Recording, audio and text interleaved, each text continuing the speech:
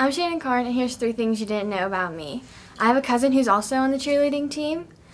I've been cheering since kindergarten, and I love glitter. I'm Shannon Karn, and here's three things you didn't know about me.